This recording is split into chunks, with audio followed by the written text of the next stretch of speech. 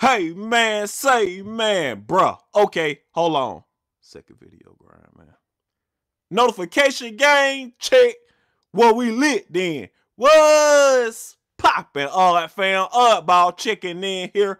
And uh, today we have a lot to discuss. Now let's jump right into it. First off, salute notification gang, hitting that like button. Please start y'all the real odd fan salute. You know, way up first, we got that boy NBA YoungBoy, and we got that boy Gucci. Okay, so as of right now, bro, we can honestly say NBA YoungBoy one of the hottest young niggas in the game. This man can press a button on the elevator and it will go viral. This nigga fans be going crazy. Oh my god, dude. NBA YoungBoy press a button on the elevator, man. That's fucking talent, dude. But all of that aside, bro, as a artist, NBA YoungBoy been consistent with the projects and the visuals. So you can't question him when it comes to that.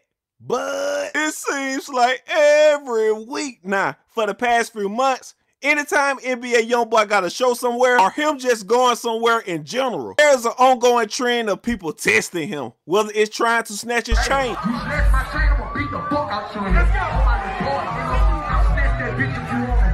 Or niggas camping like they want to catch the fade. I'm Chicago, bro. I slap the fuck out your scary. Your bitch ass on. Now, NBA YoungBoy stood solid in those situations with stuff like that going on and other personal things in his life. You kinda understand why he be flashing out or just don't trust niggas in general. And today, it's more the same, bro, because there was a viral picture and video going around of NBA YoungBoy in the club with Gucci, and this nigga was mugging the whole time, dog.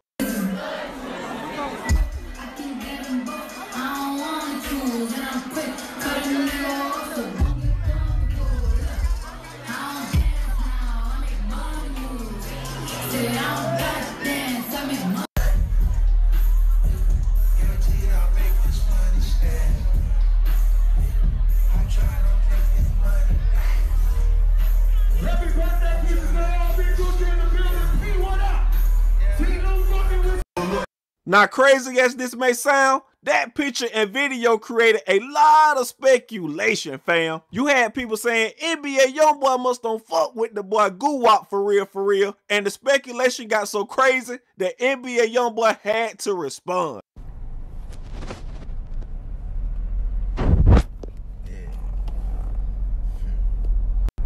I ain't never said you would never catch me.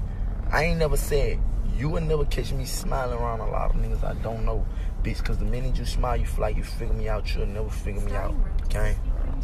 As you can see, it ain't the fact that NBA YoungBoy don't rock with Guwop. It just he ain't friendly and unfamiliar surroundings. So he gonna keep his head on the swivel at all times. The craziest part about all of that is, is that this even had to be addressed in the first place. That's social media for you. I need y'all to comment down below.